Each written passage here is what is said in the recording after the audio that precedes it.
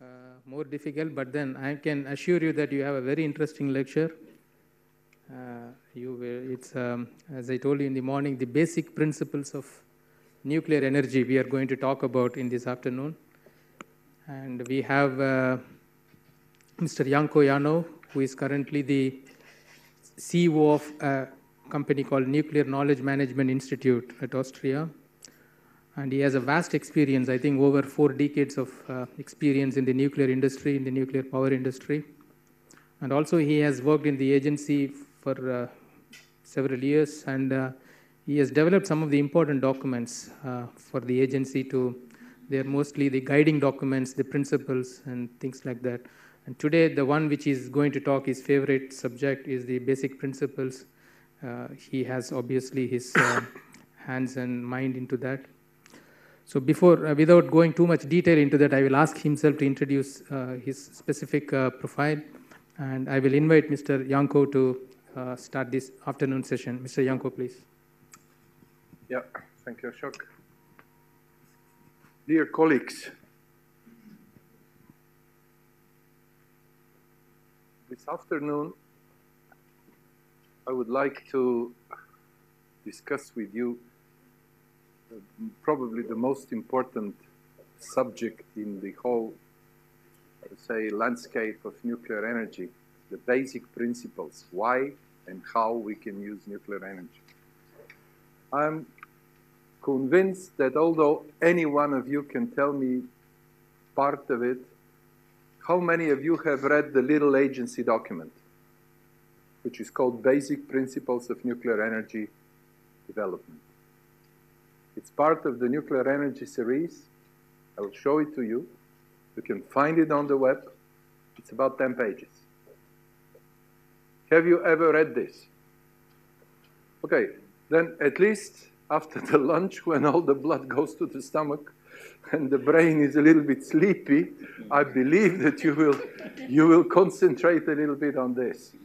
So Nuclear energy really is, uh, you heard this morning DDG Chudakov talking about this, it's a, it's a very specific source of energy. This is probably the most powerful concentrated source of energy that human civilization has harnessed. We, we, we, we can use it, we know how to use it, and uh, uh, there are about 30 countries in the world which use nuclear energy. There are another probably 100 who would like to use nuclear energy, and they use different other aspects, like healthcare. Uh, there is not a country on the, on the globe which doesn't have an X-ray machine, any hospital. If there is a hospital, there is an X-ray machine. So they have to know something about this. now, knowing about nuclear is a very, very serious problem. Nuclear knowledge is extremely rare. It's not like medical knowledge medicine in every country. If he has not finished Harvard School of Medicine, he is a native doctor. He knows different uh, plants and he can treat you and maybe he will help you. Even in Tibet and in many other countries, in Africa, in South America, uh, you see, you have native doctors. So they know something about the human, human diseases and they know how to treat them. But if you go around and ask anybody, let's say here in this country, in Trieste, go around the city and ask how much people know something about nuclear, you will be surprised to find out that there are very few. My personal speculation is one in 10,000 people know something about something. This may be the, the teacher of physics who tells the people that there is a nucleus and there is something. This might be the X-ray doctor let's say, who, who knows that uh, if he radiates the patient, he has to be careful, so he knows something about radiation protection. But if you really want to find an expert or a person with the full knowledge of everything in nuclear, it's between one in a million to one 10 million people. So a country of 10 million people may have one expert. That's my country. I'm a Bulgarian, a small country. You may not know it, but this country has started to operate nuclear research reactor from 1959, uh, six reactors from 1974, 75, and so on and so forth. Now, four of them are under decommissioning, but two are under construction. Eventually, it will be revitalized. So A country, a small country which uses nuclear energy. All other aspects are there, research reactor, medicine, production of isotopes, agriculture, and so on and so forth. And now we come to the, the story, why basic principles? And I will tell you the history because I was one of those who participated in the creation of the document. But anyway, I think I was the one who proposed this document to be created. In, in 2005, 2006, when I was working with the IAEA, we had a basic problem how to structure the agency documents. Because nuclear safety says we do standards, it's by the, by the statute of the agency. Uh, and the standards have a fundament, safety fundamentals and safety standards and safety guides. And so there is a pretty, how to say, well-organized structure of documents. The, the Nuclear Energy Department was producing technical documents, which some of them are extremely useful and they're really, how to say, uh, as we call it, uh, bestsellers, the documents which are read very carefully. One of these documents, of course, is the document called TECDOC 1510. This is the famous knowledge management document which we wrote. I think this is one of the most downloaded documents from the IEA. But then we said, well, shall we not write really the fundamentals? Why we use nuclear energy? and then the suggestion was to write a document called Basic Principle for Nuclear Energy Development. So that's what I'm going to talk today about. First of all, nuclear energy, science, and politics. What is the IAEA? Can anybody tell me quickly? What is it? A scientific organization, a technical organization, a political organization? What is it? Because somebody wanted this morning to be educated by IAEA. What do you want to be educated? To become an international bureaucrat? It's a very good education you will get there, but you will never get an education of how the reactor core operates under uh, transient conditions. This you will learn at the power plant. So when you talk about human resource development, be careful when you ask an international uh, uh, organization to educate, if they are generous enough to pay for your education, you will educate somewhere else. So, what is the question? What is the IAEA? IAEA is a political organization. Why? Because the governments are presented there. It's an intergovernmental organization. IAEA deals with a very specific scientific and technical problem, which is nuclear energy, and all the other issues that come out of this. But in principle, IAEA is a political organization, works within the system of the United Nations, but it's not a UN organization. IAEA is the only organization that can report directly, our Director General can report directly to the Security Council in case there is a misbehavior or clandestine program or anything which doesn't, how to say, comply with, with the requirements, which was the case of Iraq, the case of North Korea, and many other cases which have been there, which have been reported directly to the security. So nuclear energy is half science and half politics. Because nuclear energy, I, I will show it after that, I will start to tell you, you have to do it technically very competent and politically very correct. And you have to understand what is, what does it mean technically sound and what does it mean politically correct. Because entering into the nuclear energy area and using nuclear power requires a lot of political decisions and a lot of technical competence. You have to have both. If you have one of these, I want nuclear energy, my government is very, how to say, committed and we would like to do it, very good. We will sign everything, very good, but you don't have the right technical people, the, the right, uh, they call it nowadays, infrastructure, and then you have a problem. You, you, you can't implement this.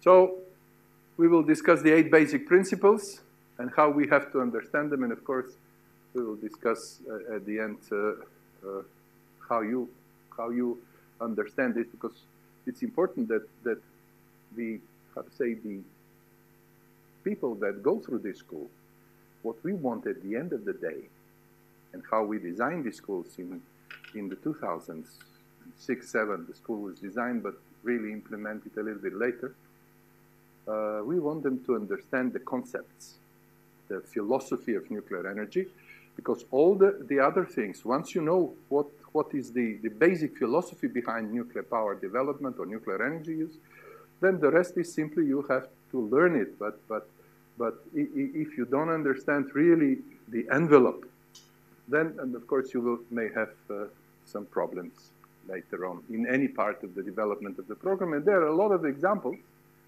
when a nuclear energy program has been started and ended in a dead-end street because this was not followed or that was not followed or something like this. Well, the beginning was very simple. This is a very interesting table. This was the table of Otto Hahn, a chemist. Here I, how to say, apologize to the nuclear physicist, but nuclear fission was discovered by a chemist.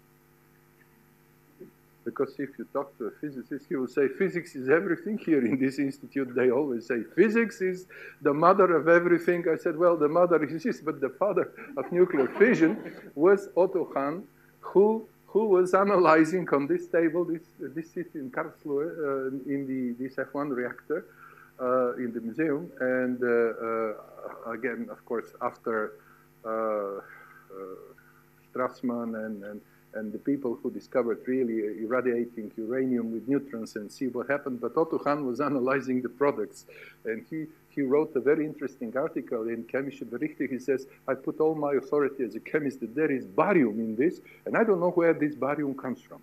And barium is one of the pieces of the, of the uranium split. So that's how, that's how he discovered uh, uranium fission in 1938. Later on, of course, you know the famous uh, uh curve of the fission products, and then it came with uh, Shippingport, with the Obninsk power station. You see, that's how, there are simple milestones how nuclear energy was uh, uh, used at the beginning. Of course, we don't have to hide it. We have to say clearly and openly that most of the science behind nuclear fission has been developed for strategic purposes. I don't want to use the word military, but it was this. It was most of the science of the fission products was developed in the Manhattan Project and in, in, uh, in the Russian uh, project for, uh, and of course all the other uh, countries which at the beginning were pursuing a military use of uh, nuclear fission. Uh, this is not a secret, but for me it was really how to say, quite, quite a surprise. Every country in Europe had a military program. Switzerland, such a peaceful and nice country where everybody keeps his money. Well, those who have, of course, a lot of money, they keep it in Switzerland. The, the Swiss had a military program. The Danish had a military program. The Su Swedish had a military program. Even my stupid country had a program which was top confidential under the military. What shall we do when the bomb explodes on our heads or something like this? And much of the science was done there. But uh, uh, of course, the nuclear, uh, real nuclear technology was developed originally by, by two countries, mostly at the beginning, the United States, the so-called Marine Propulsion Program, the program which has to power the nuclear fleet, the fleet of the United States. First of all, the big cruisers, then the aircraft carriers, and of course later on the submarines. And in fact, the, the, the, the pressurized water reactor is a product of the, of the marine propulsion program. And the same applies to the Soviet Union. Uh, other countries have gone into this, but let's say countries like France, uh, UK has had its uh, indigenous program of gas-cooled reactors. They went, and that's one of the reasons was to be independent from the other, so they developed, and they still have a couple of AGRs uh, in operation. Uh, uh, cooling with CO2 and having graphite as moderator. Uh, the French program is based on the US program, the Korean program is based on the US designs and so on and so forth. And of course, recently, China is probably the most aggressive developer of nuclear technology, and I think very soon they probably will be the leader in development of nuclear technology as long as they're putting a lot of efforts and a lot of uh, how to say, a lot of uh, commitment, national country commitment, and China is a country with a lot of capabilities in this area. Now, the nuclear power plant, of course, is a very simple thing. What do we do in a nuclear power plant? We boil water. That's what we do. We boil water to receive steam and then to push a steam turbine, something, and to use the Carnot cycle. And that's why nuclear power plants today, one of the biggest accusation is you will never get above 35, 36% overall efficiency because you still boil water. Of course, Mr. Chudakov was telling you in the morning that there are uh, advanced technologies uh, where we make best use of the how to say, the science of turbines and so on and so forth. Uh, there is, uh, if the power plant is capable of using the secondary heat and, how to say, do it a little bit in a combined cycle. And of course, there are technology of high temperature reactors and other type of uh, uh liquid metal reactors which work at a different temperature, can use a different, different cycles. But in fact, the nuclear power plant is, uh, how to say, it's a tool, it's an instrument to, to produce electricity by uh, using a very, very simple approach. And the whole issue about nuclear power, oops, how, how do I put it here? Probably this one, well, it's not seen very well. The whole issue is here, in, in, in the reactor, let's say, where the fuel is situated, and the uh, and somehow we have the controlled fission reactor. But this is, this is how to say, these are the very, very basics. Now, nuclear energy mathematics is very simple. I repeat it once again. It has to be technically and scientifically sound, and it has to be politically correct. What does that mean? Any mistake which we make in the design, whether this will, or in the siting, or in the construction of the reactor, later on, we will see it will create problems. Chernobyl positive void coefficient. On one side, looking at the symmetry, when everything should be covered by graphite, and then when you lift all the rods up, violating the instructions because of some, I would call it, uh, requirements which Mr. Chudakov as a Soviet operator doesn't want or didn't decided to share, but maybe he forgot was that the Chernobyl operators were asked to stay online because they needed for the system. And they, they, they, on this basis, they pushed the reactor in a very uncomfortable physical situation from nuclear physics point of view, just because the, the operators of the grid were asking them to stay for a longer time because they needed to push another plant and so on and so forth. If they have said, go to hell, I stop this reactor because it is physically not correct, there will never be a Chernobyl. Maybe Soviet Union would have existed, maybe not, God knows, this is a political issue, but there will never be a Chernobyl. If the operators of Fukushima were more careful, forget about that they didn't build the wall. They didn't know how to operate the isolation condenser. You know what is an isolation condenser? The reactor there is a single loop, it's a boiler, it boils the water, the radioactive actually water from the primary circuit, push the turbine, which is also radioactive. But they have a system, in case this is stopped, that the steam from the reactor goes, condenses, and comes back. So that it's like in chemistry, you know, the reverse uh, condenser. You boil something and it goes and condenses and so on and so forth.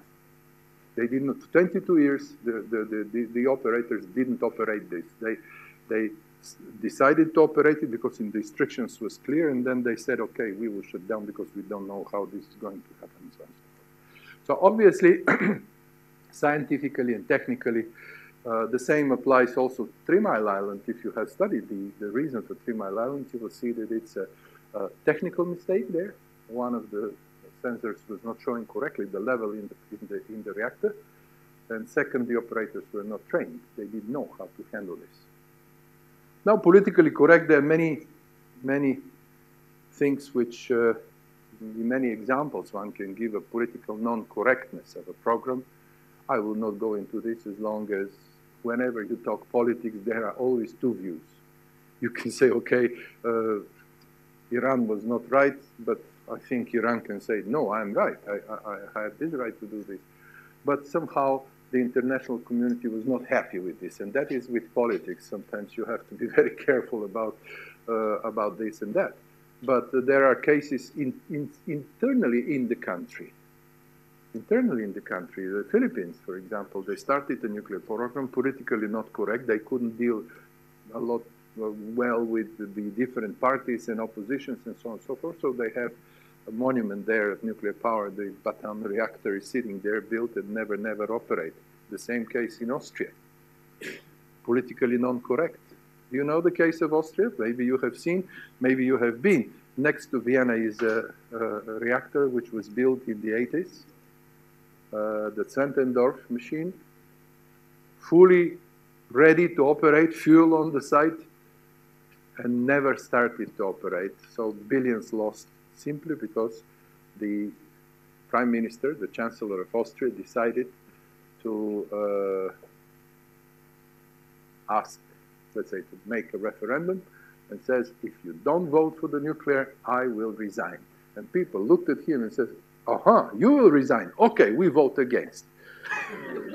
uh, so this was politically, never is politically correct to ask the people about should we do nuclear or should we not do nuclear. I don't, I'm not an anti-democratic person, but you should ask people for questions which they can answer. Uh, questions which they cannot answer, you better don't ask them. You explain them the benefit, and you will see now uh, why and how you have to do this using this uh, nuclear energy basic principles. This is the small document. It's, if you Google IAEA basic principles, it will immediately appear. It's downloadable. I think it's nice to read the document at least once, just to go through it because it will take you no more than 20 minutes. But it says that this principle describe the, the rationale. Why? Uh, the technical documents later on and the standards of the, of the safety are telling you how and why not. But why you have to do it, uh, it's written in this little document. Now, in nuclear energy, there is a balance. This is a piece of a picture. For those of you who like fine art, this is Peter Bruegel, the younger, who has, for the first time, put on a canvas the stability on three legs. Because on one leg you're unstable, on two legs as well. You have to have a special machine here, like the brain, who personally keeps you, uh, how to say, in balance. But if you have three legs, then on three points you can always be stable. And, and nuclear energy really stays on three legs. First one is the benefit. Society has to understand why nuclear is beneficial. Why we have to do this. The second thing is nuclear energy should be done responsibly. It has gone, well, it is born together with the weapon. On one side was the evil, and on the other side was the benefit. And we have very clearly to, to, to, to tell the people the benefit of nuclear energy. Because the evil they have seen.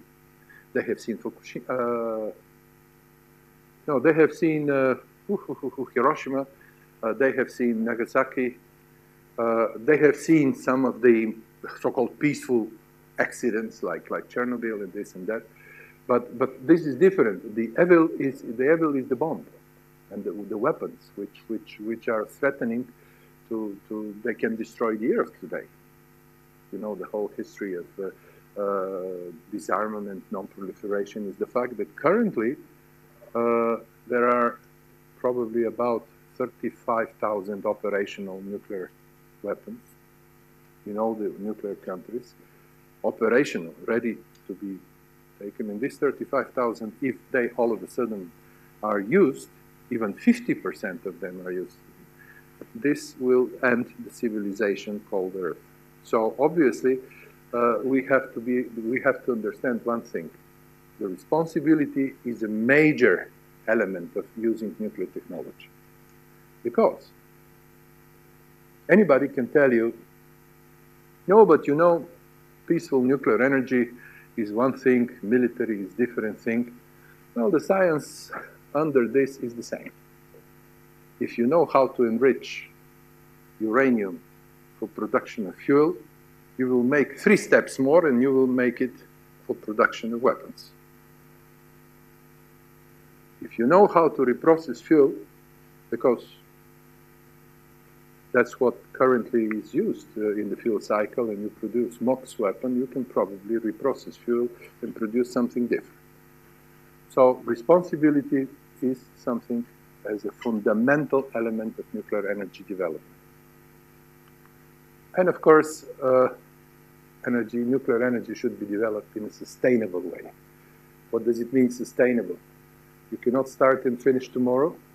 You have to think what is happening not today and tomorrow, because if I am a, how to say, an energy, energy guy, and I would like to, to, to participate in this global energy business, I would like to get my profit tomorrow, if possible, or build a gas turbine. I can put uh, something which is constructed in a couple of years maximum, and then I will start to do the business. In nuclear energy, you have to think that you will spend enormous amount of money to build a nuclear power plant, to put everything into what is called nuclear infrastructure, because it's just as expensive as the plant itself. And then, of course, uh, you will, the society will benefit in the next 60 or 80 or let's say 100 years. So that is, that is the balance which we have to do uh, uh, nowadays. You cannot prepare a set of specialists in your country and forget about this, and after 20 years you will see that, that you don't have the appropriate human resource. You have to think how I'm going to operate this plant for 100 years. How shall I set up the educational system? How shall I set up the regulatory system? How shall I organize all the other things which will have to live together with the plant? Because imagine we start, we build the plant, we close the, uh, the university or whatever education because the minister didn't like this. He wanted to, to educate people in photovoltaics and something like this because this happens nowadays. Uh, or people, because of something you see in society, people don't want to be educated. They go somewhere else because at the end of the day, this is your decision.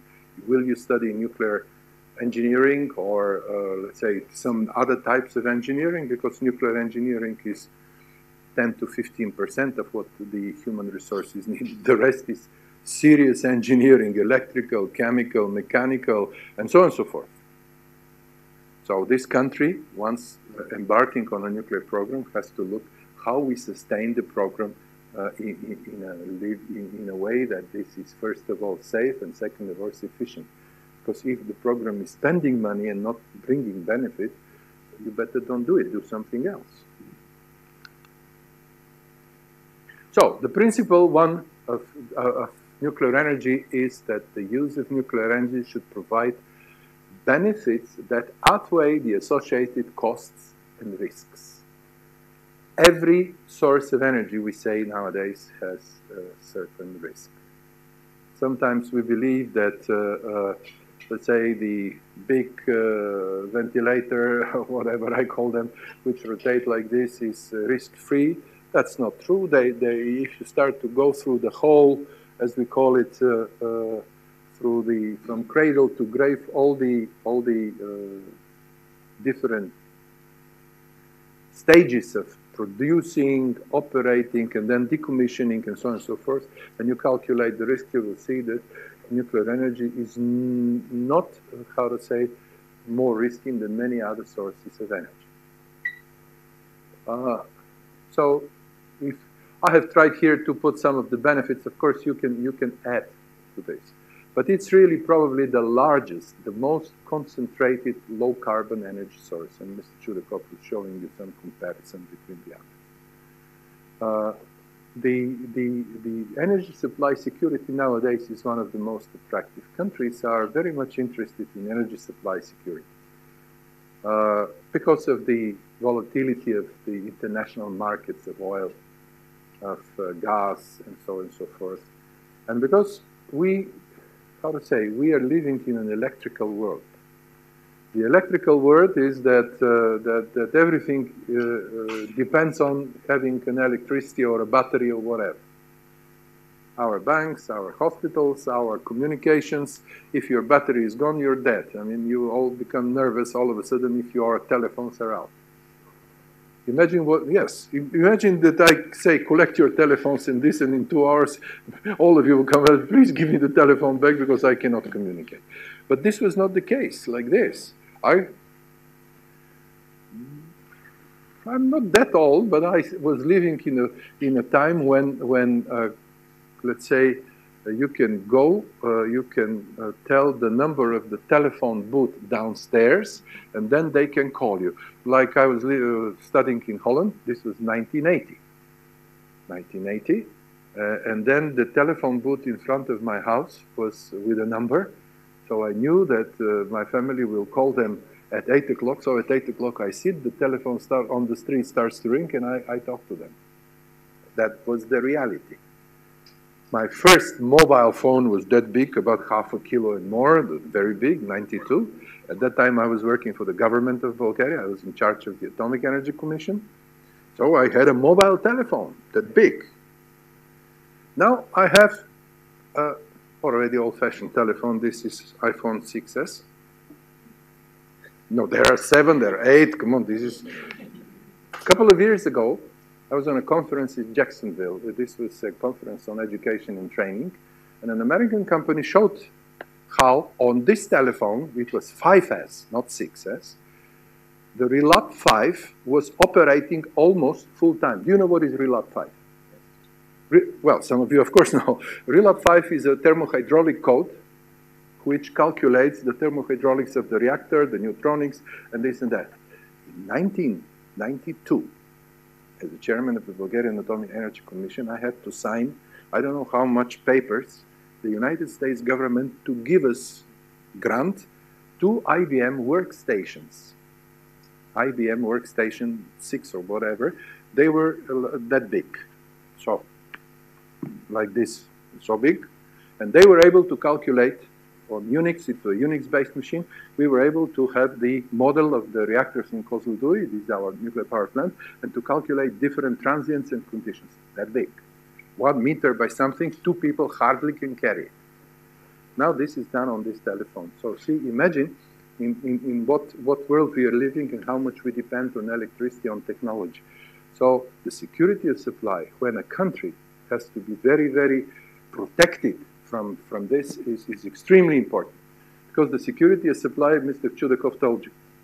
As a manager of the plant, I can buy two cores. One core of a 1,000 megawatt reactor usually, depending on the suppliers, between 80 to 100 million dollars. So if I spend 200 million dollars and I put the core sitting there, fresh fuel, no danger, nothing, I have guaranteed the plant for another eight years.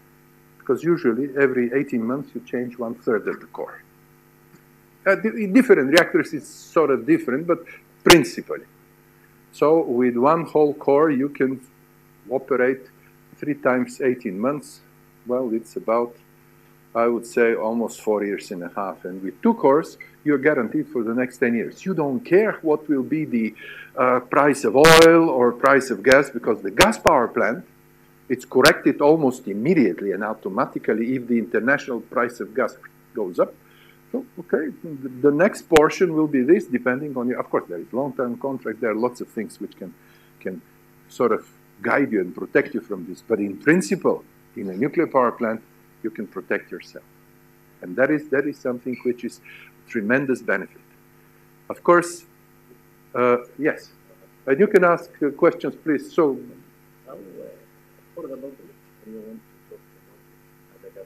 yes compare the energy supply security uh, against the, the cost or the electricity cost of electricity? Look, uh, at the end of the day, at the end of the day, uh, the problem nowadays is that too many people want to play golf. You know what I mean by this? People want today to spend money and tomorrow to get the profit and go and play golf. Uh, in nuclear power, you spend a lot of money and then you have 20 years for depreciation.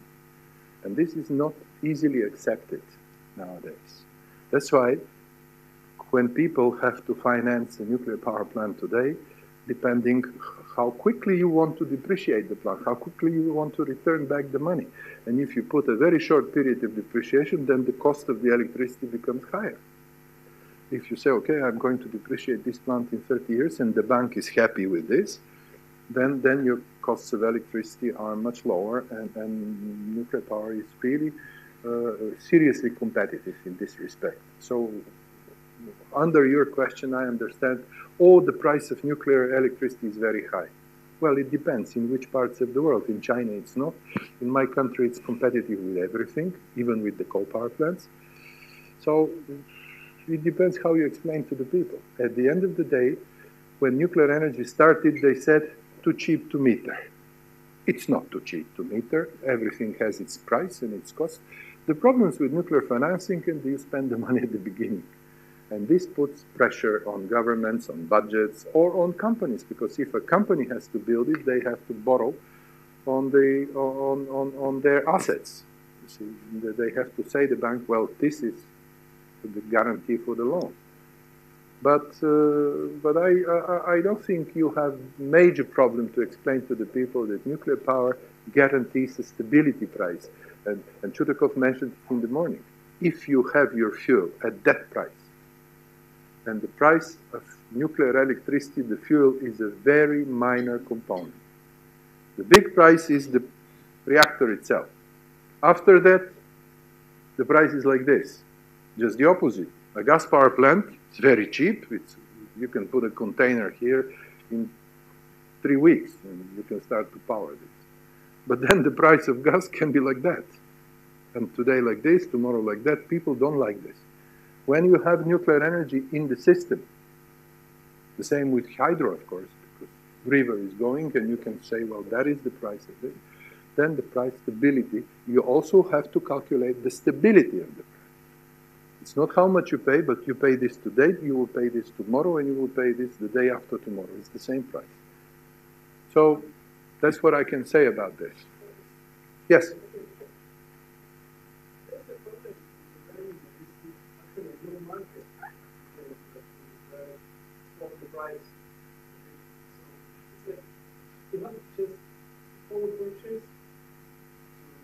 country or something like that is the price.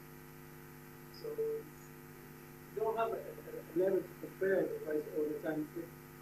There's no all the time in every part of the world the same price of it. It depends. No, of course it's not the same price. Uh, the price of electricity in, in, different countries is different and it depends on the producers, on the many other things in the country, how you calculate the price of electricity let's say the price of petrol is the same. You go to Abu Dhabi and you pay 20 cents per liter. You go to my country, you will pay almost one euro and more, euro and a half per liter. You go here around in the petrol station. It's five times, six times bigger.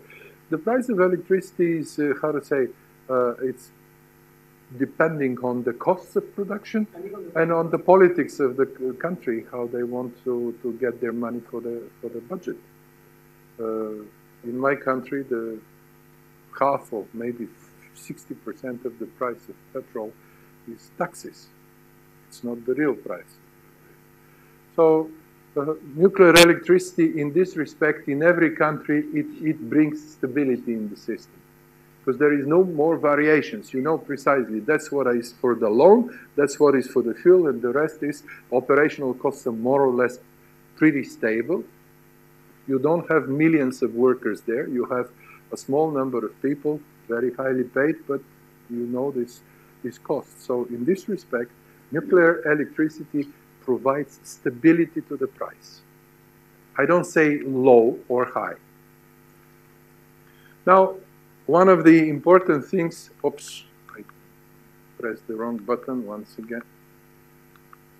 Uh, one of the important things is, uh, you see, environmental protection is very clear. If you have a nuclear power plant in the system, uh, you protect your environment, especially the cleanness of the air. Compared to, to producing electricity with uh, coal power plants or with other power plants, it's quite, quite straightforward because in normal operation, the nuclear power plant does not influence the environment at all.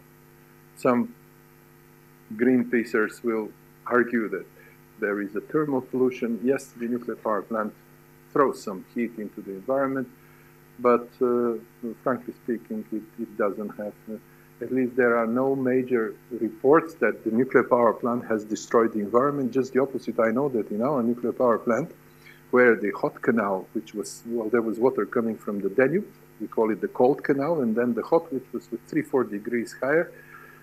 The best fishes in Danube were after the hot canal because there was a better plankton and better, a little bit better temperature, so the big fishes were there. Anyway, we shall come to this. The waste does not pollute the environment. Radioactive wastes are packages or containers which sit in a special place. And they are not thrown away to pollute the environment, just the opposite. Just the opposite. When we say environmental protection, this means, let's say, plastics are contaminating the environment because everybody is throwing them around without, well, there is control, there are certain laws, but who, who cares about the laws, at least? In, in some countries it's more than in others, uh, but uh, nobody is throwing away radioactive waste. Let's be clear. When we talk about radioactive waste, rad waste, we have to talk differently. We're talking about the management process, how we manage the radioactive waste and how to make sure and guarantee that nothing of them can reach, let's say, un, uncontrolled into the environment and can come to the either in the uh, in the food chain or can come to the people and so on and so forth. I always give this example. What about we make a pyramid like in Egypt and we put the radioactive waste and there is only one entry and there is a policeman there. So what shall you do there? How this can come to you? There is a policeman who says you should not enter here. Ah, but it's dangerous. What, what does it mean dangerous? It's there, sitting. Like in the big geological repository, it's 500 meters under the earth. What is wrong with this? I don't see, but some people can tell you that this, is, that this doesn't connect to the environment at all. The most important, from my point of view, which has to do something with the benefit, is the human development. A country which embarks on using nuclear energy requires a very solid investment in education and training in all areas. Because when we talk nuclear, you tell me any element of science which is not involved in a nuclear energy use. Which one? Tell me any human science which does not reflect in the development of nuclear energy. Forget about nuclear physics and engineering and chemistry and so on. Material science, medical science, social science, legal science, international relationship. Which one? Environmental protection, energy, and so on and so forth. So we have to have people who understand practically everything. This means to have a strong educational system, a very strong educational system. So when we talk about nuclear, how much benefit it brings to society, it's not only energy, it's not only electricity, because nuclear slowly is supporting the main, how to say, current product, the basic product of nuclear is, is electricity, but we are making our societies more and more electrical. Because our transport, our communications, our medicine, our banking, financial sectors, all of them sit on electricity. Uh, and the, the, the, fact that transportation, uh, you don't see it nowadays, but you will see it. Uh, see a country like China currently, where is the biggest number of electric vehicles? Of course, in China and they are building more and more and putting more and more because otherwise, if they continue to burn petrol, uh, they cannot breathe in the air. Yeah? And Europe uh, is going more or less the same way. Of course, there are business interests. I mean, all these guys which produce the current BMW, Audi, and all this type of stuff, they will not give up the market so easily. But more and more, uh, let's say, countries and governments start to understand that we need to push the transport to be clean uh, and one of these way to do this is to use electricity. So that is, that is uh, uh, how to say, the principle of benefit which has to be uh, very much understood. From this I will go quickly. That is the global status of nuclear power, which uh, tells you the current operation of the reactors and under constructions. Most of them, of course, are in, in uh, Asia. Uh, the energy projections, you will hear a lot about this, but whenever you talk about the benefit, you, you, you have to remember one thing. We cannot solve the, the climate issue only with nuclear. But without nuclear, it's not possible. The, all the, how to say, the projections and all the models and all the, uh, and all the uh, analysis of the future energy development say, okay, nuclear has to take this, which this share uh, in order to be able to, to really influence the climate, because otherwise we, we, we may talk a lot about climate change, but then uh, do nothing uh, really serious. Of course, the costs of nuclear, you saw this morning, the costs of nuclear are pretty competitive with all the current costs. There are people which currently argue very much that the costs of uh, photovoltaic and uh, wind uh, turbines have gone dramatically down. That is a fact. Every technology at the beginning is expensive, and then the more you produce and the more you apply this technology, it's becoming cheaper and cheaper because there is competition. Uh, photo, let's say, the photovoltaic panels are produced not only like before that in Germany and in other places. Now China is the biggest producer and so on and so forth. But still, but still you have to understand the limitations of this because saying, yes, this, I have some photo panels, let's say photovoltaic panels on my house. I can show it. Although I'm a nuclear guy, I recognize the, the, the usefulness of this. And of course, photovoltaic until now has been sponsored, right? paid by the governments, uh, made cheaper by the government, so on. So now it is cheap enough that people can consider investing in, in, in, in photovoltaic, let's say, or, or uh, in wind energy if they have this uh, opportunity, because wind is not everywhere, like the sun is everywhere, but not at the same angle. There are countries which the sun is permanently shining on them. One of these in, is, is in the Gulf area. Unfortunately, there the, the sun is shining very nicely, but there is a lot of sand and there is a lot of dust. And if you leave your panel, in one month, this panel is covered with one millimeter of dust, which you cannot stop. And then you have to have cleaning your stations every second day and third. So you see, in every source of energy, there are pluses and minuses. But regarding costs, nuclear energy is not more costlier than others. Big hydro projects, uh, coal with, with uh, let's say, carbon capture is currently even more expensive. And the price of nuclear depends also where do you want to build it. If you want to build it in the United States, under the United States regulatory system, uh, 1,000 megawatt unit costs about 13 billion. Recently, we have seen that the two major constructions uh, in, in Summer and in Vogtle are being halted. One of them canceled, and the other because of overruns of costs and the other is under discussion now, uh, whether they will continue or they will stop it as well. The reason being unnecessarily high costs of the construction. Well, also Westinghouse bankrupted, but that is a different story. Uh, so obviously, uh, and it's quite different the price which, which China does or which some of the Russian reactors have been built uh, on time and on budget.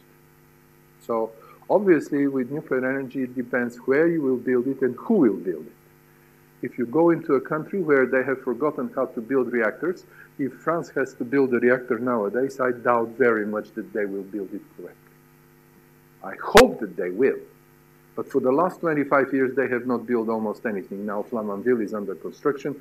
They went in a serious problems in Olkiluoto in Finland and so on and so forth. So a country which builds reactors currently. Maybe this is China, this is Russia. Uh, Japan was there, but now there is this serious interruption. Can go and build it on budget and on time, and that is extremely important for nuclear energy because the biggest price, the biggest cost you spend at the beginning, in the first five years, when you have to construct the reactor and license the reactor.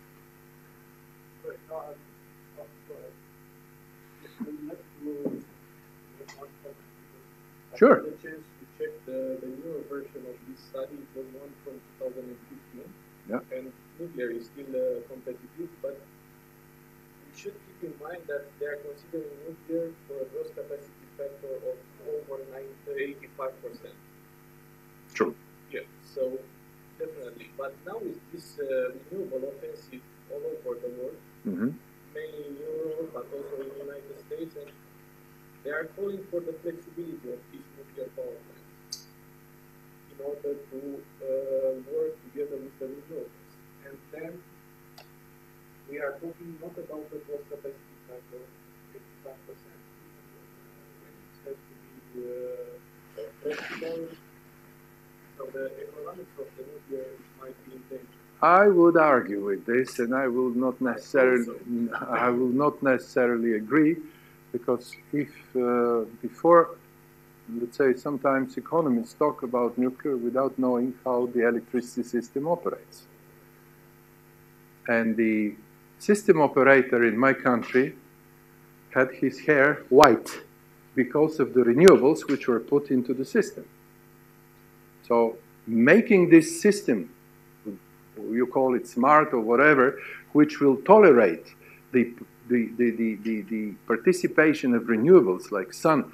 Uh, imagine uh, we, in the last uh, two years, uh, not last 10 years, let's put it this way, they decided to fulfill the, uh, the uh, objective of the European Commission by 2020, 20% of renewables in the system. So Bulgaria did it which was crazy. But of course, if you tell me that you will pay me 300 megawatt, 300 euro per megawatt hour, I will construct a nuclear photovoltaic nuclear, sorry, photovoltaic plant immediately. And if I go to a bank and say, here is my contract with the system for 300 euro per megawatt hour, the bank will finance me on the same minute. So this was public money sponsoring somebody to make big profit out of this. At the end of the day, the total capacity factor, you see, uh, using uh, the photovoltaic is about 19%. So 90%, very interestingly. Uh, so 1,000 megawatt, you have to have 5,000 megawatt, and some of them cannot operate during the night. So uh, asking a nuclear power plant to load follow, we have been doing with the small reactors load following, but uh, a nuclear power plant is a base load. And we have to understand the, the right value of the base load nowadays. Uh, saying, okay, the nuclear power plant can follow the load and this and that because the renewables are more important. I don't say this. At the end of the day, for me, as a system operator, if I am, electricity is the same. I don't care from where I will get it, whether it will be from a wind turbine or from a nuclear power plant. I want it reliable. I want the frequency 50 plus minus 0.1 or whatever is the, the regulation, and that's it. And people say, no, but the nuclear power plants have to help the renewables. Why? What is better in the renewables than the nuclear power plant? The CO2 emission is better? No. The, the, the, what is better that I have to be helping? Uh, you see, the nuclear power, the, the, the, renewables are excellent if they follow the daily curve, the daily curve. Yeah? You know what is the daily, daily load curve? You have the base load, which is mostly industry and many other things, which transport and so on and so. And then people at six o'clock in the morning, they get up, they start to push the coffee, uh, switch off the lights and this and that, and the curve starts to go like this.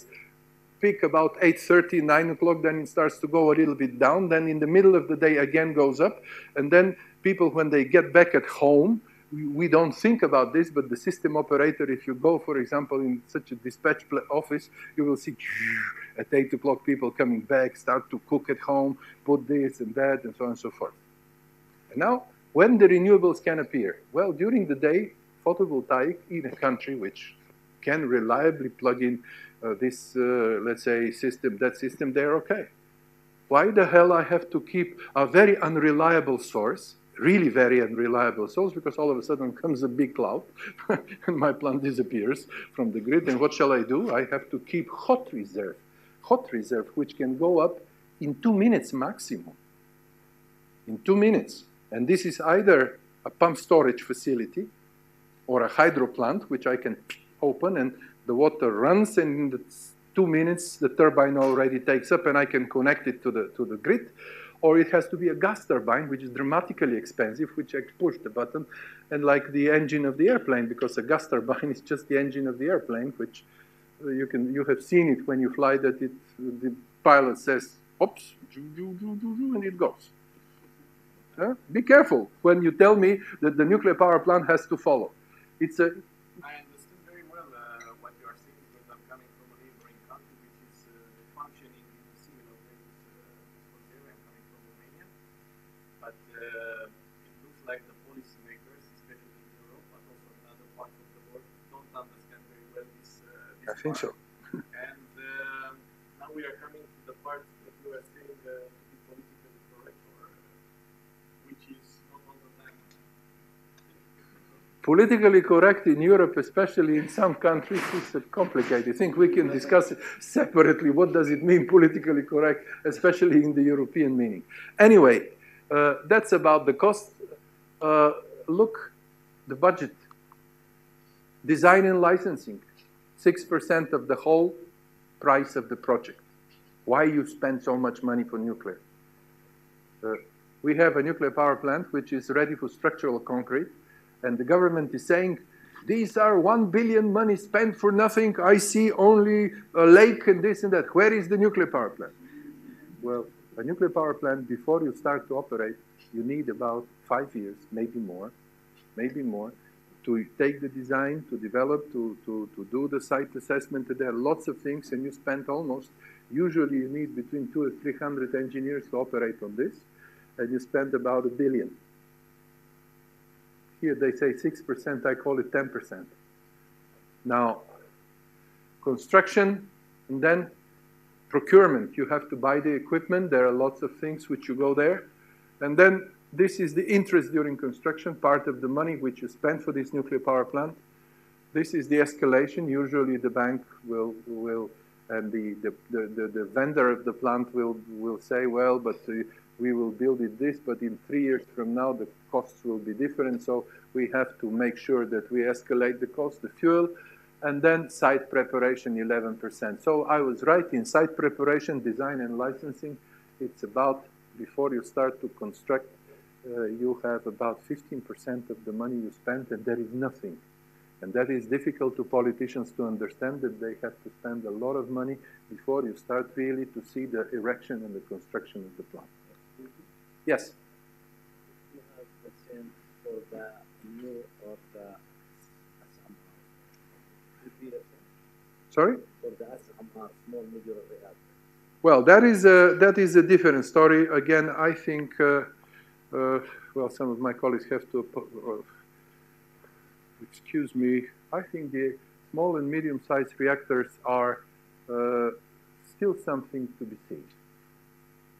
In principle, everything is correct. Uh, if you can manufacture the plant in a factory and then bring it to the site and then quickly install it and connect it and, and so on and so forth. Uh, there is a very serious, uh, uh, how to say, option that you will make a profit because of the multiplicity and not because of the how big is the project. Uh, 20 years ago, we were talking about economy of scale. We had small reactors, 400 megawatt, very good, very flexible, load following, and so on and so forth. Very safe, which really were very safe. These were Russian reactors, but they were really very safe.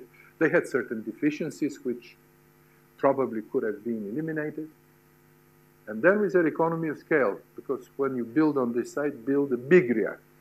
And the economy of scale, when that, the, the, the Chernobyl type of reactor was 15, uh, well, how much? 1500 megawatt, 1500. Uh, the Areva uh, European EPR is 1600, and so on and so forth. Now we're again starting to talk, maybe this is not the right because it's a difficult project, very complicated. And let's build it uh, uh, small. Small is beautiful, and so on and so forth. Let's see. There are there are options, there are opportunities, which have, but we have to see this how this is going to operate.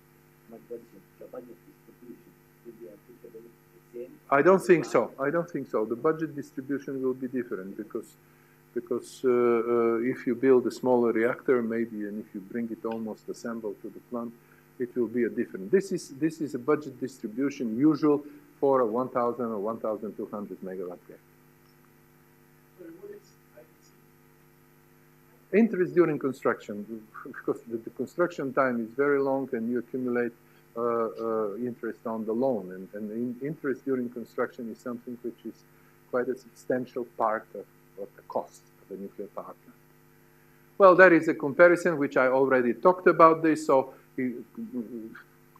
concerning the benefits, nuclear is difficult to construct, but it's very cheap to operate, or vice versa, gas or let's say uh, uh, other uh, onshore wind is really much more costlier per megawatt than, than nuclear.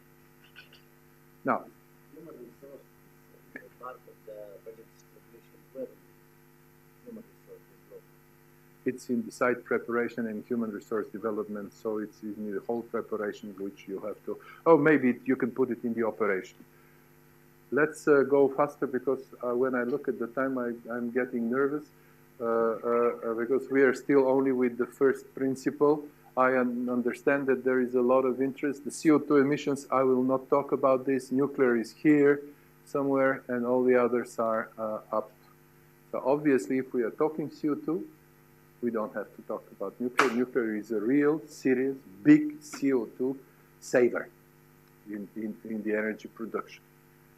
Uh, when we have to really talk about climate change and look at the different scenarios, you will see that nuclear should, should play a role and a very serious role.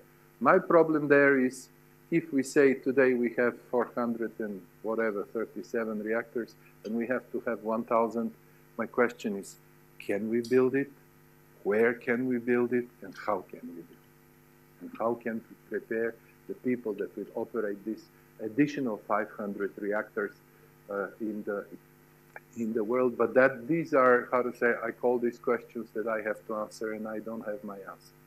The human resource development. Look at the specific HDI, the, the, the, the Human Resource Development Index, which is combined between GDP, education, and health, level of education and healthcare.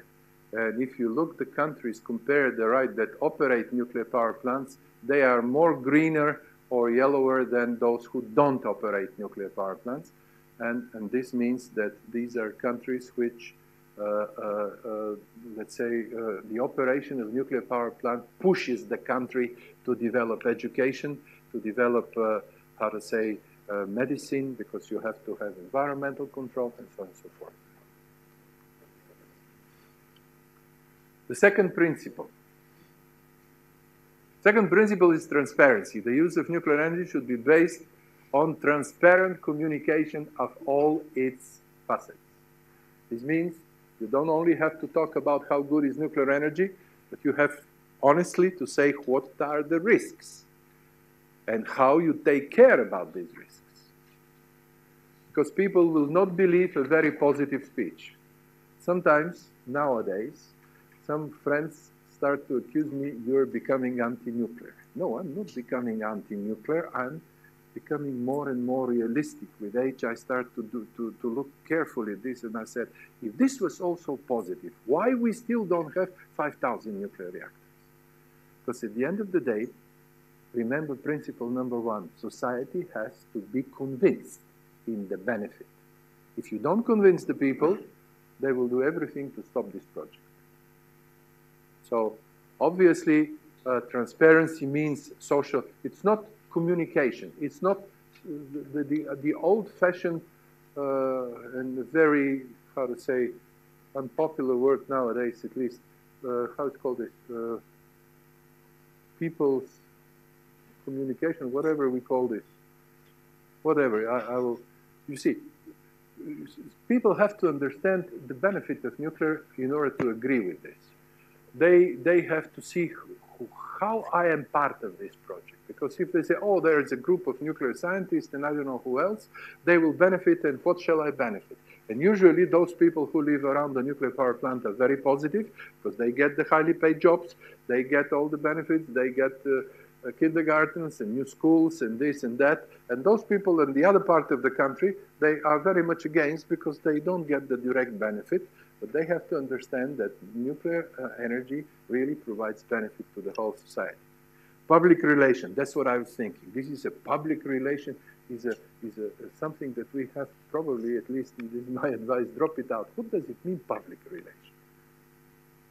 If you can explain me to me what does it mean, public relation, you have to have a communication center and then show them what is a reactor and all these type of things. They come and they go and they forget, and next day they vote against the nuclear power plant. So really, we, we, we the, the word transparency uh, puts together uh, everything what you have to do to, first of all, to be honest and tell the pluses and the minuses and explain why pluses are better and more than the minuses. Uh, and of course, uh, uh, we call it acceptance. You see, agreement is a different story. You, you need a public contract. You need a social contract with the people to explain them and say, we have to accept. We know that nuclear power has pluses, it has certain minuses, but uh, acceptance really is something which uh, envelopes, uh, let's say, the behavior of society. By the way, by the way, social acceptability of nuclear energy is so important topic that MIT, the Massachusetts Institute of Technology, has a master program on social acceptability of nuclear energy. It's a scientific topic, how really you do it. Yes? How can you convince and at the same time, Germany all of their The answer to this question is very long. I strongly suggest you to discuss it after that. But uh, you never transfer, my simple sentence is, you never transfer what is happening in Germany to what is happening in your country. Because your people are not Germans, number one. They have not had the German historical development. Well, and I, am, I had the same question in, in uh, Bulgaria when they asked, yeah, but the Swiss, you know, the Swiss voted that they will stop nuclear energy. Are we more clever than the Swiss? No, probably we are not, or maybe we are more clever. But don't try to tell me that Bulgaria is Switzerland and vice versa. So this question doesn't, is not very, very correct. You have to talk to your people, understand your habits, your culture, uh, your acceptability, uh, what people are willing to accept in your country, what they're not willing to accept, and don't compare with the Germans or with the United States or whomever, I mean, Swedish or others. But advanced and global, so I think uh, you have to consider also the general inter-state, inter-government problem. But, uh, an explosion of Krško, for example, would affect also region. Just to give you an example of what some people here are war. So it's not related only to that country because the threats are not respecting the, the borders. So there is some. Look, Claudio, I would agree. I would agree.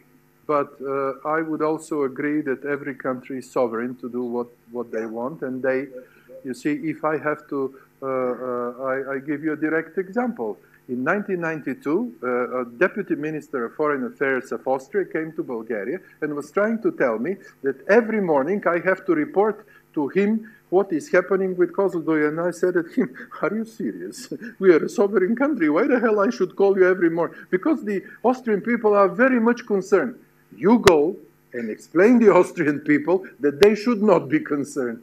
but I'm not going to report you anything. So that's why there is uh, certain conventions. There is uh, also there is uh, uh, principles international of how you build. If it is close to the border, uh, then you have to make a common how to say meetings and so on and so forth. And the, program of acceptance have to be pretty serious. But there is still the element of sovereignty, which if you say, okay, you close Krško and you don't build anything, and then Slo Slovenia says, but how shall I make my energy? My economy is gone, and so on and so forth. So it's, it's really a serious problem, and I say acceptance is a very specific thing. How you convince these people to accept. The same is Austria with Czech Republic, now Lithuania with Belarus, uh, and so on and so forth. Yeah?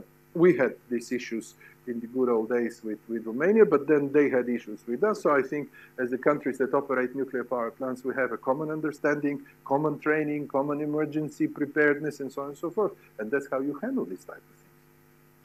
Now, the nuclear share has to be going up. That's what I say.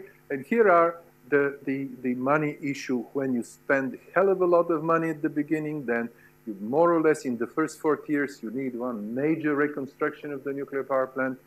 Uh, and of course, then you have the decommissioning phase where you don't get. And this is the benefit of the nuclear power plant. This is the plus. That's what society earns. You and, and what society earns is is much more important and much better because uh, uh, a typical example is United States of America. When the nuclear power plants in the United States, they had more than 100, were depreciated, which means that all the costs were covered and the loans were paid all of a sudden they became the money printing machines and each operating company, whether it's Exelon or Duke or anybody else, was willing immediately to buy an old nuclear power plant and start to produce money. So obviously at the beginning you spend money, but then, then, then you have to tell the people that there will be a period where their children will be really benefiting from this nuclear power plant. The risks, well, you will have a lot of time to talk about the risks of the nuclear power plant, what might happen. Of course, uh, uh, here uh, the so-called design basis accidents are accidents where we can handle, and they are calculated. And there are beyond design basis accidents which may happen. Uh, people say this is a very rare event. The objectives, I mean, the opponents say uh, it's a very rare event, but in the last years we had three of these.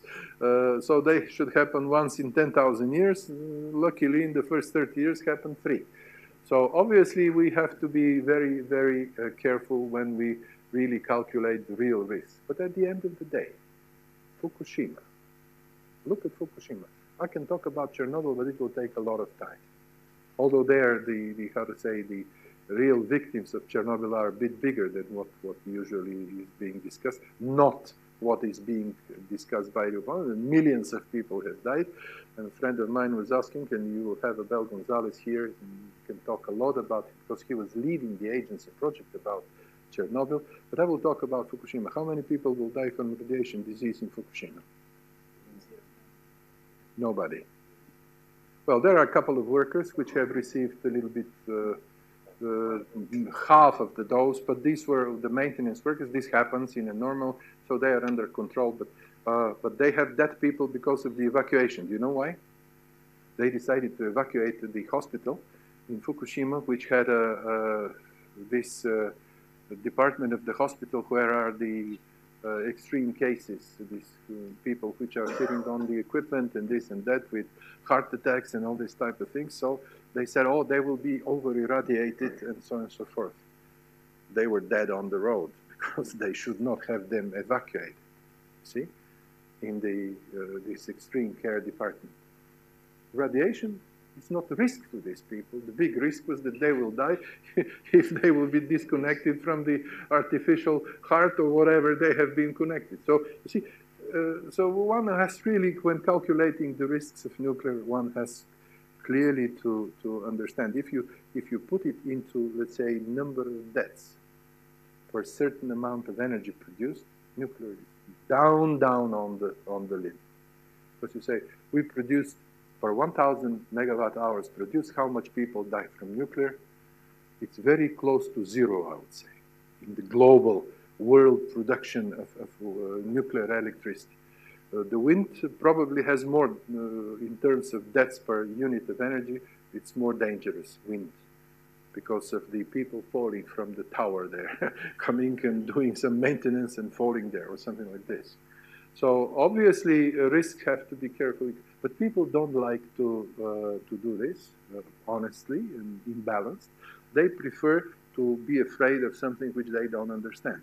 Falling from, uh, let's say, 50 meters and uh, smashing your head is something which you, okay, he was simply unlucky. If anybody dies in a nuclear power plant, next minute this is on CNN, and oh, there are three people in a nuclear power plant.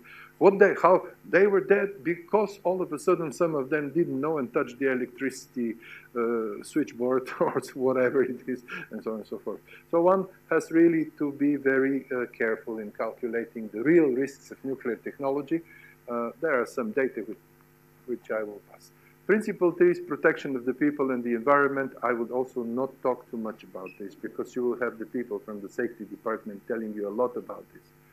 But the use of nuclear energy should be such that people and the environment are protected in compliance with the IAEA safety standards and other internationally recognized standards. Uh, that is how we formulated this principle. Uh, and this is part of the uh, responsibility. Safety is a responsibility to those who use nuclear technology. And it's not responsibility of the control panel operator only.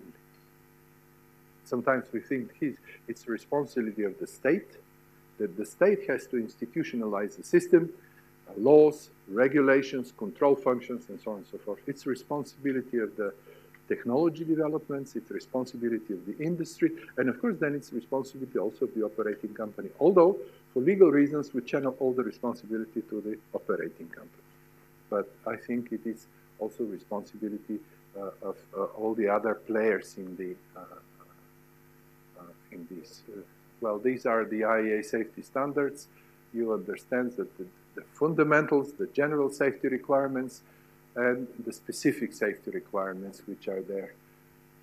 So that is, that is uh, the basis for protection of people and the environment. Currently, of course, if you look at the basic safety, uh, I mean safety fundamentals, you will see that the, everything is directed into protecting the people from the harmful effect of radiation. The world is harmful effect of nuclear radiation. And if you look at which is the harmful effect of radiation, frankly speaking, nuclear power is somewhere here. This is the Chernobyl accident. This is the fuel cycle. This is the medical diagnosis. This is the radon. This is the terrestrial uh, radiation in food, cosmic radiation.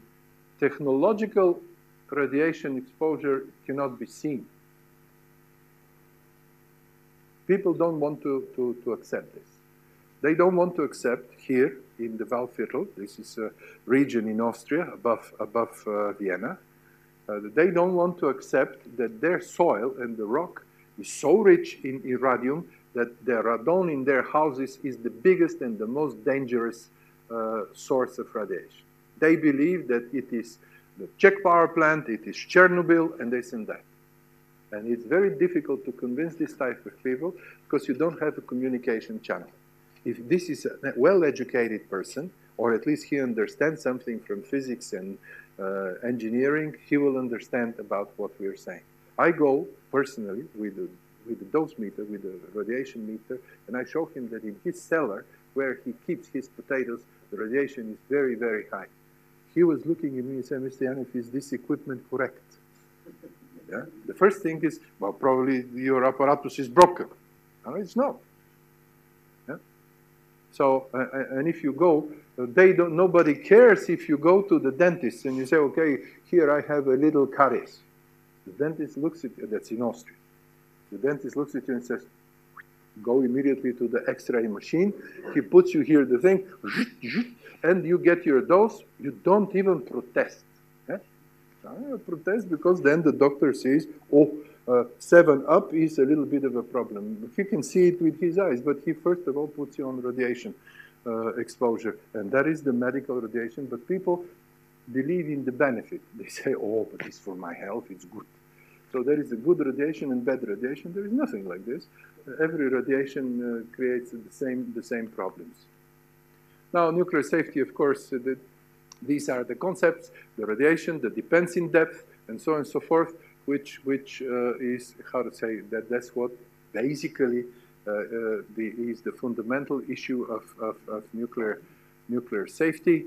Uh, of course, the biggest envelope in the nuclear safety, and that's something which I would only mention because the rest, first of all, I guess you know, and second, you will be uh, given more detailed lecture about this, is the safety culture that envelopes everything what you have to do, from the design safety, going to operational safety, and so on and so forth. Safety culture, Mr. Chudakov said something surprisingly for me, very close to what I say. Safety culture means three things. if you look at the agency definitions, it's a long one. It, safety culture has a lot of uh, features, uh, this and that. It is uh, the specific behavior. Uh, INPO has principles, agency has five principles, and so on and so forth. I have three. Principle number one of safety culture is you have to know what you are doing in a nuclear installation, which means you have to be trained, educated, knowledgeable. When you do something, do you know what you're doing? Second, you have to know the consequences if you do it wrong. If the people in Chernobyl knew what may happen if they do wrong, they probably will not do it. And the last thing is you have to be a very responsible person. You don't have to say, today I will do it correctly, tomorrow well, I can violate a little bit. And these three principles of safety culture are really fundamental. Knowledge, competence, training, you see, understanding the, the, the, the, the, the to say, the consequences, and, and uh, uh, being a very responsible person. Now, the responsible use also includes the principle of security. We have to take a due account of the risk of all the malicious use of nuclear and other radioactive source material. This is something which uh, Mr. Martincic in the morning mentioned.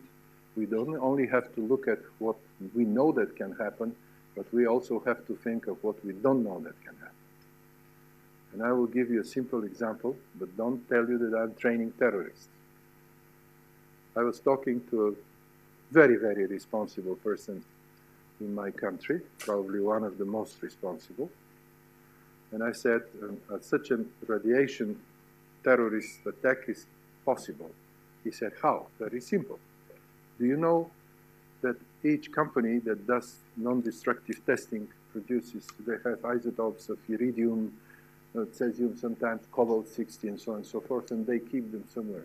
What happens if I load all these defectoscopes, they're called, and if I load them in a truck and put a lot of explosive, and I go here in front of your office and explode the truck. I may not kill anybody. I will contaminate the whole bloody place, and this will not be possible to be used in the next 10, 20 years until you dig it, until you clean it. I will make such a, uh, how to say, panic in the people. He was looking at me and said, Jan, is this possible? I said, it is. Why not? But you don't use it. Because they should be under very strict control, these sources, but in some countries and in some parts of the world, they're not. They're locked somewhere. I mean, it's not impossible. So security, in terms of physical protection, sabotage and theft, uh, let's say legal issues and nuclear terrorism, this, this is something that we have to be very, very careful when using nuclear technology. My first meeting with this was in 1975. For the first time, I entered the nuclear power plant. We had to do certain analysis there. I was still working for the university. And all of a sudden, in front of the central room, where are the two VVER reactors, there is a guy with white combination and Kalashnikov and machine gun inside the power plant. And I was asking, why is this guy sitting there? He said, well, if all of a sudden a normal worker, insider, decides to do this, he has to shoot him. Inside the plant, because a terrorist or uh, let's say a sabotage can be done not only from outside, but somebody that is inside, official with the card, da, da, da, da, da, and then he creates a problem. So uh, security is very specific area. I, I don't talk much about this because I honestly, I understand the principle, but I'm not part of the security system. The security, they will never tell you what they do about this and that, and so on and so forth. But there are certain principles of security which have to be followed, and this has to be well understood by all the people that are working, not only in the nuclear power plant, with radioisotopes, because the panic which, which a dirty bomb can make without killing people is just as big as, as, as uh, how to say, uh, uh, an accident in the nuclear power plant. Non-proliferation, very important principle. Is principle five, non-proliferation. When, when, when you embark on a nuclear pro program, you have to take due account of the risk of diverting the program into a, into a, a, a military aspect. This is a political issue. It's not that much of a technical issue because technically me and you cannot decide all of a sudden to make a nuclear weapon. It's a country that has to put, let's say, this task and, and, and start to do this. So obviously non-proliferation is a political issue and as long as the agency is the single entrusted by the government's organization to observe, to control, let's say, and to verify this, this, uh, this element of use of nuclear energy, uh, I think uh, uh this principle uh, carries with, with it a lot of things. The safeguards agreement, signing all the conventions, uh, committing the government to non-proliferation issues, and so on and so forth. Of course, we are talking, we have been talking that there must be also a technological solution. Uh, some of the people agreed, others don't. Uh, but more or less, one of the problems which somebody was asking about the small and medium-sized reactors is that they definitely will operate at a higher enrichment level in order to be efficient, and then, then they create an issue of proliferation and how this is going to be sorted out is still to be seen. So, of course, proliferation means material accounting, technological export control, uh, comprehensive test ban, IAEA inspections, and so on and so forth. Each of these elements contributes. If you don't make nuclear tests, so you're not developing a nuclear weapon. If all the technology which you need to produce a nuclear weapon is being controlled, uh, of course, this is also another element. Material accounting, the agency, that's what Safeguards does, accounts every gram of uranium-235 or whatever fissile material you have, and so on and so forth. So that was one of the important things when the non-proliferation treaty was signed. And uh, that's the IAEA safeguards, but you will hear more about from my colleagues in the safeguards. The important thing is that the IAEA, as I say, once the, the board of the IAEA decides that there is a non-compliance or some program cannot be verified uh, fully, you see, and completely verified that the fissile material is under control and available, then the Director General that can go directly to the Security Council and uh, bypass uh, all the other things. Well, this principle, we talked about this long-term commitment. If there are questions, I will say, but believe me, Long-term commitment is another type of philosophical and political issue, which I don't have personally an answer. What we, we are saying, you will see this milestone document saying, oh, long-term commitment, be prepared, da, da, da. What does it mean, long-term commitment today, when I have to see what will be the governance of my country in 100 years from now? I look back 100 years and I said, well, 100 years ago, this country was uh, uh, under, partly was under Russian whatever control, the other part was Versailles contract or whatever treaty was doing and so on and so forth.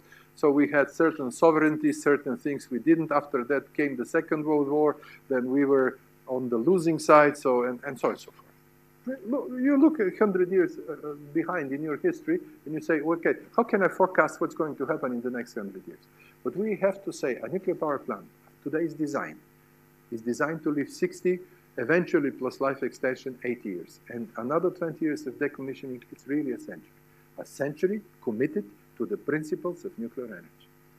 How we are going to achieve this, for me, is still a question mark. But let's say step number one is that we have to work in this direction. We have to start to prepare to teach every generation, because nuclear is a transgenerational technology. 100 years, minimum of four generations. We'll have to live, work for this plan, for the regulatory authority, for the technical support organization, and that's what it means, long-term commitment. All of these have to be probably put in the proper legal framework, in the proper legislation about education, about training, and so on and so forth. And of course, you have still the RAD waste management. Well, the radioactive waste, that is uh, one of the issues which are currently being discussed very much, and it's also discussed with the, the newcomer countries, uh, because one of the biggest questions, what shall we do with the radioactive waste? I tell you an example of my experience. In 1972, first power plant was under construction. of 73. I'm a PhD student at the university, and two big Russian academicians come to Bulgaria. One of them is Flerov. You know, Flerov was the person who, during the Second World War, wrote to Stalin that we can produce a bomb and this and that and, and so on and so forth. So he's a famous Russian scientist, academician, participated in their project, and Blokhintsev came, he was in charge of the Academy of Science. So, and we were sitting in our laboratory, my boss was the chairman of the Atomic Energy Commission, and then we asked the same question to this Russian famous scientist, what shall we do? We are building the nuclear power plants, what about waste? And then he told me something very simple. He says, Yanko, don't bother. Russia is so big, there are places where 1,000 kilometers nobody exists. We shall make a big hole, we shall put them there, and that's it. We looked at this, said, okay, if they say like this, probably this can happen. Now we are, we are, let's say, almost 50 years after that. The situation is pretty complicated. There is a pretty complex international regulation. This is the Joint Convention for Spent Fuel and Rad Waste Management. Uh, in Europe, every country, according to this, has to deal with this on its own territory, which is stupid, because I think that the European Commission and the European Union is an assembly of very stupid people, especially those who manage the, the union. The, the, the, rest of the people are clever, but these are really very stupid, because the country may not have even the geological, uh, uh, how to say, structures to do this. Bulgaria is a very seismic country in terms of uh, that we don't have the Finnish big granite plate, which they can dig a hole and leave it there. Because Finland is always given as an example, Sweden as well. We don't have this structure. Russia doesn't care because they have such a territory which is uh, tens of thousands of kilometers. So obviously, there must be an international solution somehow which can handle this in an appropriate place. There have been even uh, discussions with Australia, with some islands, Marshall Islands, or whatever was this and this and that can we uh, jointly together manage the high level waste because the low level waste is not a problem. Then the high level waste what is the high level waste? This is the spent fuel basically or after reprocessing. The question is is it a waste or is it a resource? And still this has to be decided in the future whether this type of things is a resource for something else which we can use in the future. But anyway uh, this really is a, a, a, not a technical and scientific problem and that's what we have to explain to the people is that in principle we can handle the radioactive waste. The problem is where and how much. Because operating a nuclear power plant is beneficial. Every day a nuclear power plant produces about 1,000 megawatt at average European prices produces about 2 million euros daily. That is the, the cost of the electricity on the market. Between one and a half and two million depending now, operate, uh, taking care of the radioactive waste is only using money. And when the company has to do this, uh, or the country, they are saving on uh, unprofitable investment. So basically at present, there is the so-called decision wait and see.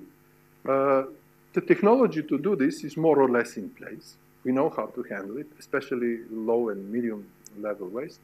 The high level waste for the time being is kept let's say, stored, the fuel is stored in, in dry stores and in other wet stores and so on and so forth. Uh, and obviously, we'll find its solution in the future, whether we waste will, let's say, what we currently call waste will not be more or less a, a resource for other fuel or for other type of reactors. You know about the DUPIC cycle, many other types of things. Uh, fast reactors can use uh, spent fuel and, and produce new type of fuel and so on, new type of fissile material and so on. So uh, it's really difficult to, to, to tell the people this and that. But you see, uh, one of the examples uh, which is given nowadays is uh, really Sweden, where two, two places were fighting who to get the waste repository because of the benefit of the work, say, and the, the, the payment which they will get there. Resource efficiency, that is principle number seven. We say that, that nuclear energy should make efficient use of resources. What does that mean? This means that what we do today, the current fission reactors are extremely inefficient regarding the resources. When we put the fuel in the reactor and when we take it out, after, let's say, 50,000 megawatt, whatever, per ton per day or whatever is the, the, the, the, the level of irradiation of the fuel, uh, we use 3 to 5% of the fuel. The rest is still there. So obviously, uh, the current fission reactors, the pressurized water or the boiling water reactors are the not, not the most efficient source. We obviously have to use this fuel uh, in fast reactors, let's say, to, to continue to, to increase the efficiency of the use of uh, fissile material.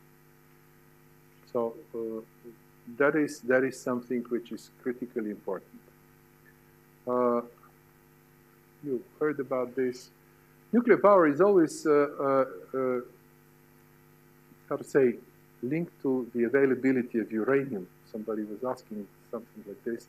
And if you look at the countries which are looking seriously, uh, for me it was a little bit of surprise to find out that Uganda has serious activities in this respect. But then I looked at the at the Brown Book and I looked at Uganda has quite a substantial percent of the world reserves of uranium. So obviously, those countries which are rich in uranium, like Kazakhstan, like like like Niger and others, are carefully looking in these uh, uh, options to to to, uh, to use them. Of course, you need enrichment capacity, but uh, that is one of the stories which Mr. Chulikov mentioned in the morning. I will not go deeply into this. Uh, that mm, it's not necessary. Going into enrichment is a very expensive, how to say, it's a very expensive technology, very energy consuming and so on and so forth.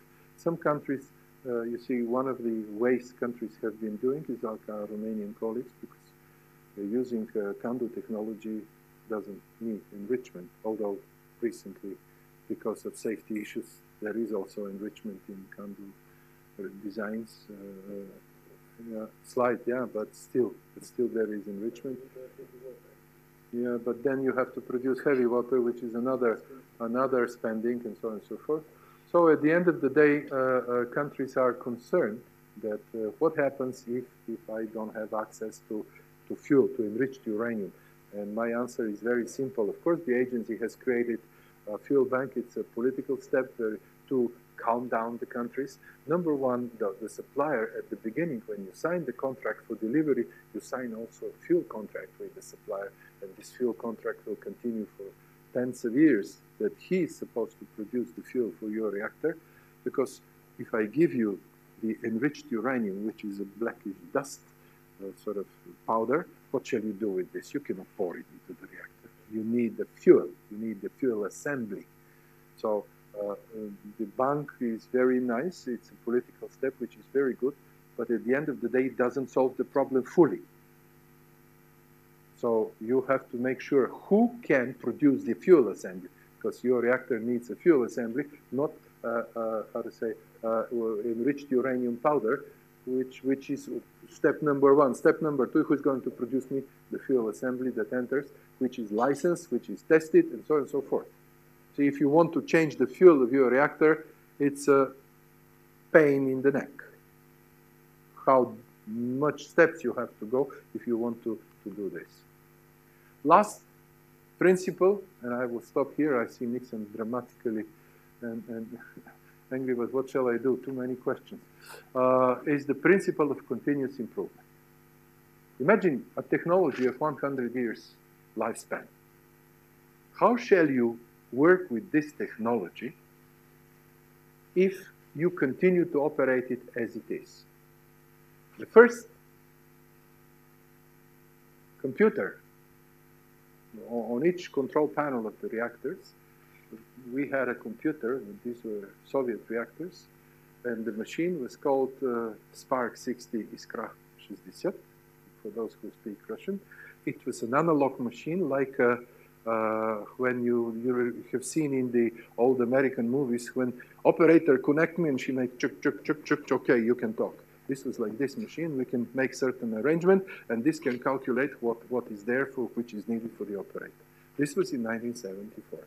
When these reactors were shut down prematurely, I think in 2006, they had, as I called you, IBM RISC stations and this and that. Imagine only this. Imagine what technology development goes through these years when, when you have to uh, when you have to operate this nuclear power plant because the operation, the lifespan of a nuclear power plant depends on the pressure vessel steam generators can be changed. It's a bulky and expensive operation, but still they can be changed. You calculate how much you invest, how much you uh, extend the life. But the pressure vessel is the, how to say, the, the most critical thing in a pressurized water reactor. Uh, in the CANDU system, it appears that all the calandria can be changed. So CANDU system is really, they can live forever if, if, if they can uh, maintain it. Uh, so uh, if, let's say, 20 years ago, the temperature control was analog with a needle or the pressure, now it is digital on the same plant. Now, whatever was talking to somebody in the morning, uh, ah, Claudio, about big data, the nuclear power plants are also looking at big data because they digitize, even the old power plants digitize all their equipment. Now, if you have a big computer and an appropriate way to handle this enormous amount of signals, a nuclear power plant produces between 25 to 35,000 signals every second. So imagine this is temperature flow, da, da, da, everything, salinity, uh, neutron, neutronics, and all these type of things. Imagine you start to, to maintain this data and to accumulate them and start to look at what happens when this, and then you look, oh, at that moment, one minute before that, the temperature rose in this circuit. So you, you nowadays, analyzing big data for nuclear power plants opens a completely new territory, uh, how to say, of analysis and behavior of the nuclear power plant, where we can understand a lot more, let's say, if we are looking analog. So obviously, continuous improvement is not only this, continuous improvement is also human resource improvement, new uh, elements of training. Let's say at the beginning, people were trained on the control panel. Now they have a full scope simulators, which is which is uh, remarkable, something that they can really feel the nuclear power plant, although behind is only a big computer which operates the whole thing. So obviously, uh, uh, continuous improvement is a basic principle. You cannot live with a technology for 100 years and you leave it as it is at the beginning. So obviously, the safety performance is shown in just a second. This is the continuous improvement in technology. We believe that that's why people say we had the first generation, second, third. The agency is looking differently into this. Uh, this distinguish uh, evolutionary reactors and so on and so forth, and innovative reactors. Uh, knowledge has to be permanently uh, innovated because what we knew 100 years ago and what we know now and what is going to be in, let's say, 100 years is also something that we have to, to take care. And uh, my last slide is fusion is still 50 years in the future. Well, 50 years ago they said it's 50 years away. Now they say again it's 50 years away. So I don't know. I mean, I will not be available when they will say another 50 years away. But uh, uh, we have to do it. That's the problem. We have to do it because really fusion is another source of energy. It's the natural source of energy of the sun. And if we are able to control this, we, we were able, we are able to control the fission, which we, we how to say, discovered, although it has been, you know, the Oklo event in, in Ghana, that there has been a natural reactor, but this by chance. But uh, fusion probably is one element of this. And the balance is very simple, the benefit, the responsibility, and the knowledge. That is, that is nuclear energy. And if you remember at least this balance, I think we have. Okay. I apologize to, to the organizers and to you for keeping you so crazy, but unfortunately,